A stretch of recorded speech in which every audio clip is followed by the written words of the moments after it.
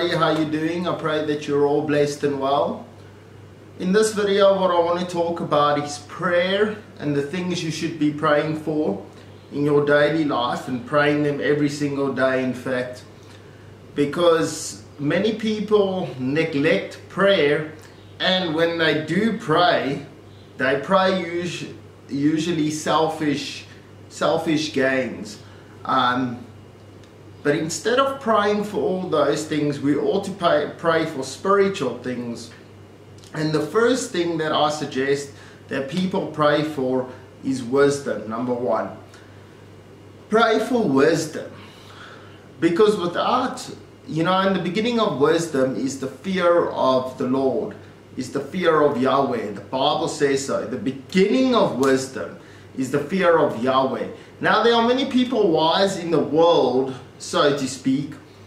Um, but the Bible even says that God has chosen the foolish things of the world to confound the wise. you get people that are businessmen, you get people that uh, are doctors, lawyers, they're very uh, quote unquote wise, but I would say they're more knowledgeable than wise. Um, and they don't even believe in the Most High. Yet they can make the best business decisions. Yet they can make uh, decisions regarding uh, uh, leadership and all of that. And they have leadership qualities. But they don't have the fear of the Most High. Therefore, their wisdom is zero because the beginning of wisdom is the fear of the Lord. The beginning of it. So if you don't even fear the Most High, you have no wisdom. You have no wisdom. You might be wise in the world's eyes, but you're not wise in the Most High's eyes. So every day we should be praying for wisdom. Pray, Lord, Father God, give me wisdom to handle this day. Give me wisdom in decisions that I ought to make regarding my family. Wisdoms that I need to make regarding work. Wisdom in, in the way that I answer people in the way that I treat people, wisdom in the way that I ought to spread your gospel to others, to give me the right, wise words to speak. Wisdom in every situation throughout your day, and you should be praying this every day. It's no use just praying this once and never praying for wisdom again. Look, when we first come to the Messiah, we pray, Lord, take out my foolish heart, to take out my foolishness and, and give me a mind of wisdom to, to seek after your ways. but even every day, we ought to pray for wisdom. That I, I think that that should be your most um, regarded prayer is the prayer for wisdom. Because without the Father's help, without our Heavenly Father's help in, in everyday life, you're going to mess up. God is the all wise, all knowing, our Heavenly Father. He knows the beginning from the end, and He's the wise one. So, if we just ask Him to impute to us with some wisdom, like I say, in, in regards to financial decisions, in regards to the way you, you, you and your family, or the way you should treat your family, uh, if you're the husband, wisdom in the way you ought to lead your family. If you're the wife, wisdom in the way you ought to submit to your husband in a wise way. If he's not godly, to lead him to the Most High. Um, if you're the child, pray for wisdom. Pray for wisdom for your parents. Pray for wisdom are you to ought to, to, to walk in obedience to the Most High's commandments and to seek after Him and to live a life pleasing to Him. So seek, uh, so pray for wisdom pray for wisdom every day and we, you can never have enough wisdom. The person that says they they've reached the ultimate core of wisdom and they're so wise is the greatest fool of all. All right we have to grow every day in wisdom. I can tell you i pray for wisdom every day but i still make uh, i still do foolish things in my life because the heart of man is bound up in foolishness. And so we have to uh, pray for wisdom for our walks every single day. Number two, you ought to pray for a hedge of protection around you and your family. Pray that God protects you, where you may travel each day, even if it's a short distance to work and back. Pray that He travel, that He takes you there and back safely. There can be a lunatic on the loose and they can attack you and your family. You can get in a car accident. Uh, you can slip on the kitchen floor and a knife go into your neck. Anything can happen. So pray for a hedge of protection around you and your family um, and protection against unclean spirits that are always seeking to roam. The Bible says Satan walks about as a roaring lion seeking whom he may devour. So pray for a hedge of protection around yourself and your loved ones. That, that the Most High protect you from false doctrine, that He protect you from false pastors, false, false teachers, false teachings, that He just put a hedge of protection around you, you from temptation, that you don't fall into temptation that day, that your wife or your husband doesn't fall into temptation, that your children or your parents don't fall into temptation, or your brothers or your sisters. Just pray for that protection that he that uh, that that he protects you each and every day. Number three, pray that His will gets done in your life that day. Pray that that He will guide you um, not to seek to do your own will, but to do His will that day. And that He use you as a vessel to glorify His name that day. Ask Him to, to give you the opportunity to come across somebody to spread the gospel of Christ, to sp- spread the gospel of the Messiah amongst lost people, that He, that he puts them in your way or that they can that he, that he gives you an opportunity to witness to the lost that he gives them open hearts to receive his word and that he just uses you to glorify his name and to honor his name and to do his will in uh, in your life that day number four thank him for his blessings upon your life that day Thank Him that you're blessed enough to be waking up uh, in, with a roof over your head. Thank Him for His blessings of that you're able to eat, that He's blessed you with food, that you're privileged enough to be able to eat food when many others around the world are starving. Thank Him that you've got a nice bed to sleep in, a warm bed, um, a job if you've got one uh, thank Him for the fact that you're able to see if you indeed got sight. And if you don't have sight, thank Him for the fact that you got ears to hear, that, that you're able to hear, because there are many people that are not able to hear, that are not able to see. And some of them are mute and deaf. Uh, uh sorry, some of them are mute and blind. Uh, they can't hear nor see, like Helen, Helen Keller was, I think.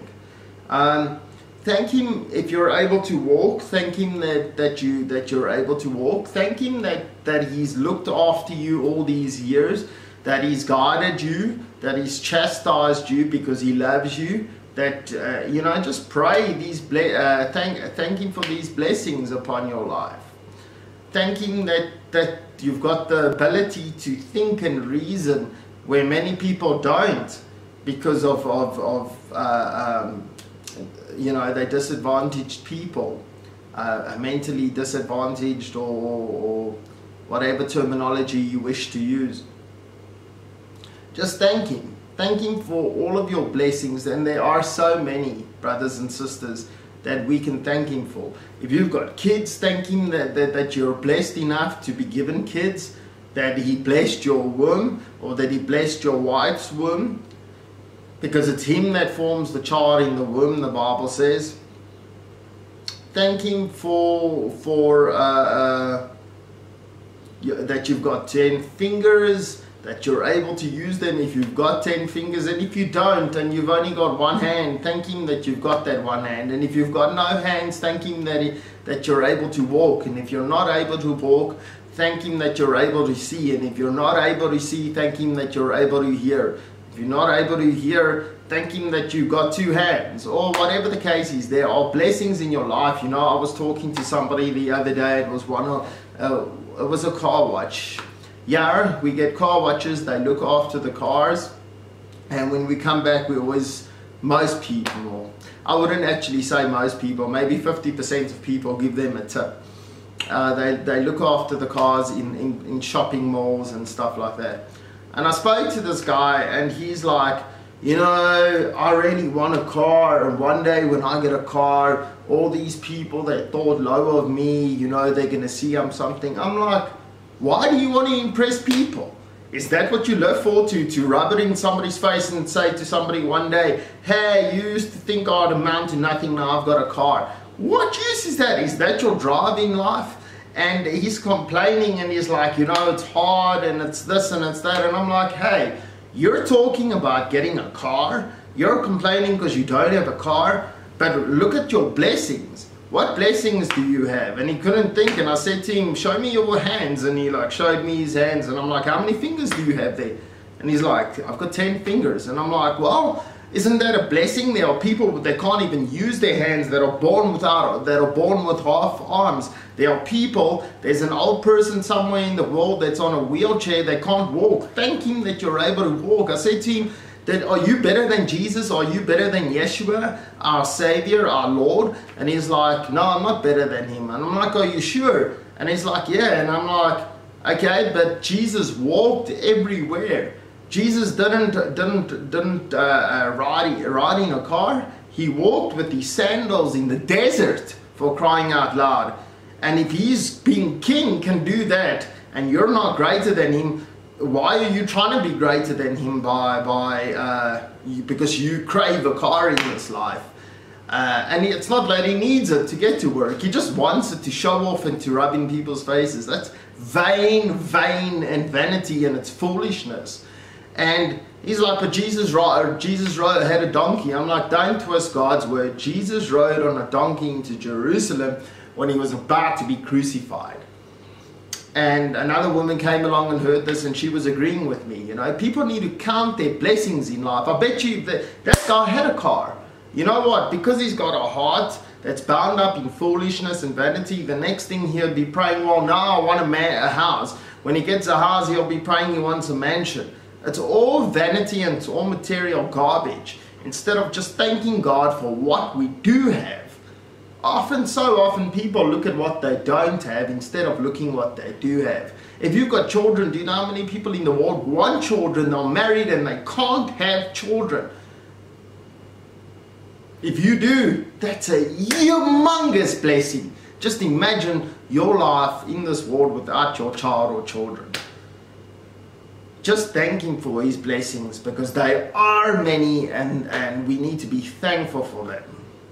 And, the, and you know, complaining and discontentment is a sin against the Most High because He knows what's best for you.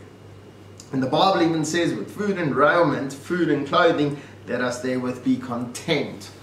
The next one, pray that He gives you boldness in this life. You know, so often as believers, we're too afraid to talk about Christ and I've even spoke about this before. I've done street preaching in different areas in front of a lot of people and I've preached his name with boldness. And I used to be a person that was timid and scared and shy around people that I didn't know. I couldn't do public speaking. I couldn't do a, a public speech. Uh, even in the classroom amongst my peers. I hated it. I used to quiver. I hated it. I even wanted to stay at home those days in primary school, which is, is low school, junior, whatever you call it in the US. And I didn't want to go to school those days because I just hated public speaking. And God just gave me a spirit of boldness. But there are still times, there are still times where I feel uncomfortable talking about Him because everyone around me is talking about the world. They're talking about foolishness. They're talking about vanity. They're talking about things that just are complete rubbish, uh, just meaningless chatter. Really, it, it really is meaningless chatter. And it's like, you know when you bring up Christ, you know when you bring up the gospel, you know that, that it's going to offend them. Because remember, if you're not of this world and you're in Christ, and then you're not of this world and they're of this world, they're going to hate you. And many of them are bound with evil, unclean spirits and it's, they're going to take offense because they have control over those vessels and they're going to think the things that you are talking are foolishness because the bible says that the spiritual man or, or the natural man, meaning those that are aren't born again, those that are bound deep within their flesh and they're not born again by the Holy Spirit, by the set apart Spirit of the Most High. Many of them are, are bound and controlled and spiritually blinded, completely blinded, and they cannot understand the things of the Spirit, the Bible says. But sometimes, you know, God uses those words that you speak, He penetrates their hardened hearts, He softens it, and you sow a seed. And it doesn't mean you're going to see an instantaneous, miraculous conversion. Because many of them that you do see, many of them that you do see that convert instantly, you know, I hate it when people say, hey, I went and preached today and I converted 12 people. How do you know that you converted 12 people? Do you know their hearts? Do you know the hearts of man? Are you the Messiah to know the hearts of man? You don't know if they truly converted. You don't know if they're going to fall away into the ways of the world again. You don't know if there was a true conversion or not. You can say they, they, they, they accepted, they, they, it seems like the, the Messiah, you know, like the word of the Most High got, got through to them, but you don't know if they're truly saved, brother or sister. You don't know that. So don't declare somebody saved when you don't know that. I used to, throughout my church history as a child, rededicate my life back to the Lord over and over as a teenager, as a child, as you know, do it because you see it, you see that's, you think that's the gospel. And instead of realizing the only true conversion comes when you realize, hey, I would never go and do those things again unless I was a false convert. Then you'll understand, yes, we still sin after true salvation and we still get you know, there's we're always going to fall short in certain areas because of the weakness of the flesh. However, you're never going to completely rebel against God. And when you do, you have a huge conviction in your heart. It feels almost like your whole world has collapsed. It feels like you're a complete failure and it, it, it, stinks. It really does stink when you when when when when you do fall short in certain areas. It stinks. It stinks, um, and that's how it will feel if you're a true true child of God. But before I go way off topic here, you pray for boldness that that that you know that you're not intimidated by the world, that you're not intimidated by people or the ways of the world and that you speak His word with authority, that you speak it with boldness, that you speak it with meekness, that you speak it authoritatively if needed, and, and stern with certain people if needed, because love rejoices in the truth, but to try and do it in the most humble way possible, but to remain bold. Pray for boldness every day.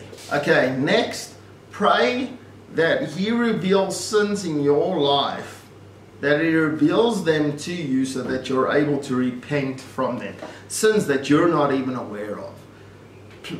And, and sins that you are aware of that you're struggling with, be it short temperedness, be it anger, be it vanity, whatever the case is, pray that He, that he uh, helps you every day to walk in, in, in, in a closer relationship with Him, in a closer bond with Him that, that He um, reveals sins in your life that you're not even aware of. Say, Father God, show me areas in my life where I can improve, where I can serve you better, that are being obstacles in my relationship with you. Um, reveal them unto me because I may not even be aware of them. This day, reveal a certain sin in my life. Show me my sin. Help me to overcome that sin. Help me to live a life more pleasing unto you. And if you're struggling with certain sins, pray, Father, you know, help me to overcome these things that I'm struggling with. Help me, Father. You know, and, and just pray that, that, that, that He reveals these things to you, like I say, hidden sins in your life, because many people don't pray these things. And if you will be praying these things, if your first prayer and, and your most important prayer is the prayer of wisdom daily. That's why I say then you start realizing what you ought to pray. And lastly, pray over your food. Whenever you eat, pray, Father, I pray that you sanctify this food I pray that you bless this food and I receive this food in faith. I receive this food with thanksgiving and be with those who are not as blessed um, to receive or to, to have the privilege of eating this food. And I just pray you sanctify it and purify it through the blood of your Son, Yeshua, Jesus Christ. Amen. You know, just pray that He sanctifies the food that you eat because that's something we ought to pray. Um, and lastly, do not pray repetitive prayers. You know, some people, they will write down a list and they will say, and they will repeat this prayer Father, I believe in your Son. I have faith in him. I'm going to be strong today. Father, I have faith in your Son. I believe in him. I'm going to be strong today. Father, and it's like they repeat, and that's witchcraft to repeat a, line over and over. Jesus spoke against it. Yeshua spoke against that. He said the scribes and the Pharisees pray prayers of repetition. Do not be like them. But pray, Our Father which art in heaven, hallowed be thy name. He's showing you how to pray. Your Father which is in heaven, hallowed be his name. Holy is his name. Our Father which art in heaven, hallowed be thy name. Your kingdom come, your will be done on earth as it is in heaven. In other words, pray that his will gets done through you this day the same way as it is done in heaven. Hallowed be your name. Your kingdom come, your will be done on earth as it is in heaven. Then he says, uh, Give us this day our daily bread and forgive us our trespasses. in other words, whatever your needs are for that day, pray that he gives it. And the daily bread give me Jesus Christ. He said He's the bread of life. And for all your needs, just pray that your needs are met. He's, and then He says, um, uh, Give us this day our daily bread and forgive us our trespasses as we forgive them the trespass as we forgive them that trespass against us in other words pray that he forgives your weaknesses your sins your transgressions and that um, the same way as we ought to forgive those who trespassed against us. Then he says, Lead us not into temptation. In other words, pray that you're not pulling into temptation that day. But deliver us from evil, for yours is the kingdom, the power, and the glory forever and ever. Amen. That doesn't mean you must repeat those words. It means pray after this manner, he said. Alright, we don't pray repetitive prayers. That's witchcraft. That's the same as the Catholics counting the rosary counting the rosary. You don't find that in, in the scripture. That's just repetitive garbage. And it's, it's, you're not praying with your heart, you're praying with your mind. You saying, Father, I rebuke the spirit of iniquity and I trust in your Son Jesus Christ to help me through this life. I rebuke, rebuke the spirit of iniquity and I trust in your Son Jesus Christ to walk through this life. And you keep praying that over and over. I just find that uh, you manipulating your own mind. you're not praying from your heart, and uh, you're not praying with a trueness, with a true repentant heart. And and you know, even if your prayers are, every day are the same thing, they don't have to be the same words every day. But these are some of the things that you ought to pray for: wisdom, a hedge of protection around you and your loved ones, uh, spirit of boldness uh, that he keeps you from false prophets and false teachers and false teachings. Um, that he, that his will gets accomplished in your life every day, and that he shows you sins that you aren't aware of, so that you can overcome them, and your blessings. Thank him for your blessings that you've got, which are many and abundant. I pray that this helps you, brothers and sisters. May the love and the peace and the joy and the wisdom and the glory and honor and, and mercy and compassion and the Holy Spirit of the Most High be with all of you. May lead all of you to a life that is pleasing unto Him and to give you all wisdom um, and to give us all wisdom in our daily walks. And stay blessed and see you next time. Take care and shalom. Bye bye.